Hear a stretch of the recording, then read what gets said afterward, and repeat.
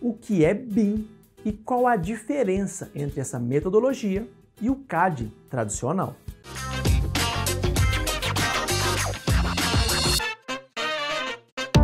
Fala amantes da engenharia, meu nome é Gustavo Pereira e hoje eu vou te mostrar as diferenças entre BIM e CAD e deixar uma dica importante. As melhorias tecnológicas ligadas ao processo de construção estão em constante evolução, passando desde o desenho desenvolvido em lápis e papel até as representações virtuais tridimensionais, com a inclusão de sistemas complexos de produção e desenvolvimento de projetos. Hoje, o mercado de engenharia está se tornando cada vez mais automatizado, com o uso de ferramentas de modelamento 3D que facilitam a visualização do funcionamento de peças e interface de projetos de diferentes disciplinas. Mas para você se destacar nesse mercado, você precisa saber modelamento 3D. E para te ajudar nessa jornada, eu deixei na descrição um link de um curso de SolidWorks feito por quem entende do assunto. Esse curso vai te ajudar a entender e dominar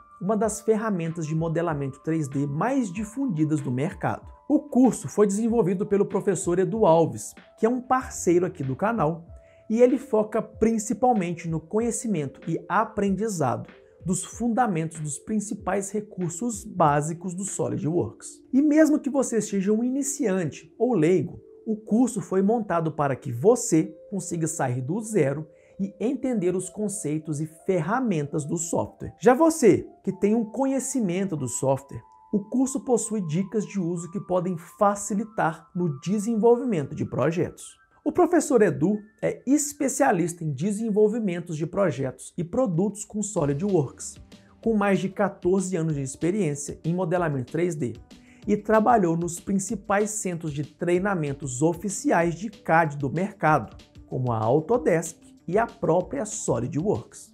Então, se você ficou interessado clique no link da descrição e confere essa dica nossa de curso que pode dar um upgrade na sua carreira profissional.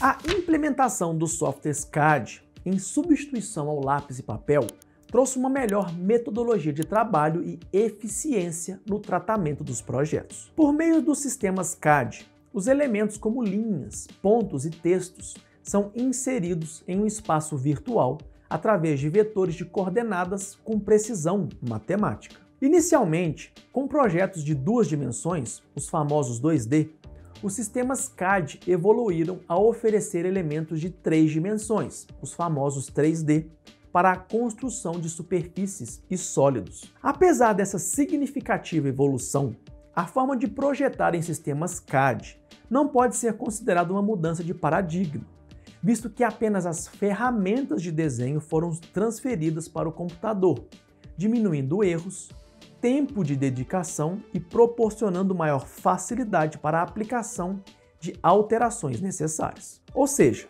a modelagem ficou mais eficiente, mas o resultado final manteve-se para fim de representação. E é aí que se introduziu a evolução do conceito do BIM. Mas o que é BIM? BIM significa Building Information Modeling, que em tradução livre fica algo como modelagem da informação da construção ou modelo da informação da construção. O BIM é um processo para produzir e gerenciar dados I, ou seja, todas as informações de um projeto até a construção, passando ao longo de todo o ciclo da vida do ativo, simulando em ambiente digital a construção real. O conceito BIM prevê a construção em ambiente 3D virtual de objetos característicos e não de sua representação. Tais objetos, chamados de objetos inteligentes, apresentam, além das suas propriedades espaciais associadas à sua representação, propriedades intrínsecas aos mesmos. Ou seja, além de realizar o modelamento 3D de objetos, você entra com dados como o tipo de material, o peso, resistência, fadiga e muitos outros parâmetros. Se utilizarmos o objeto porta como exemplo, teremos no software CAD a representação geométrica do objeto em ambiente 2D ou 3D. No conceito BIM, a porta em questão é uma entidade única, com seus elementos geométricos e demais propriedades intrínsecas a ela. Além das três dimensões da modelagem geométrica espacial, é possível atribuir ao objeto novas dimensões como o tempo, o custo e outras variáveis possíveis. Por este conceito, o projeto não mais apresenta linhas e textos para representar elementos, e sim os próprios objetos que compõem a obra.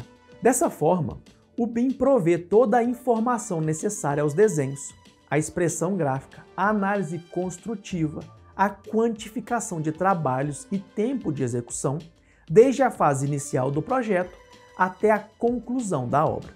Outro ponto interessante sobre a metodologia BIM é o fluxo de trabalho. A dinâmica no BIM está atrelada à sincronização de dimensões. Como eu disse anteriormente, temos, por exemplo, a dimensão de projeto, a construtiva, a dimensão de custo e até mesmo o tempo. Essa integração do modelo ao fluxo de trabalho exige um aspecto colaborativo simultâneo, ou seja, permite que diferentes pessoas trabalhem ao mesmo tempo em um único arquivo no servidor.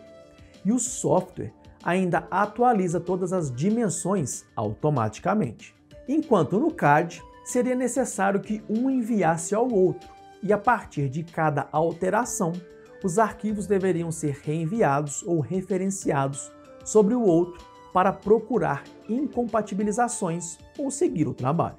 A utilização da metodologia BIM permite que tenhamos um fluxo de trabalho transparente e aberto, um banco de dados pertinente para o uso durante todo o ciclo de vida do projeto em um só local, desenhos inteligentes com informações do projeto, desenhos e cálculos integrados, atualização automática dos desenhos e detalhes, quantitativos automáticos e a execução mais precisa e uma maior assertividade em cronogramas. Como você pode perceber, a metodologia BIM é um novo passo no mundo dos projetos e ela está intimamente ligada ao modelamento 3D. Com ela, você consegue linkar o fluxo de desenhos com a engenharia econômica e o planejamento do projeto e muito mais. E já sabe, né? Se interessou pelo curso, vai aqui na descrição para conferir nossa dica e nos conte depois o que achou do curso. Eu vou deixar dois vídeos aqui do lado que vocês podem gostar também, então clique em um deles para conferir.